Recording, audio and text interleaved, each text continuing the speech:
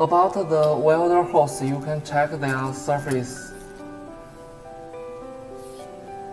And uh, their surface is matte.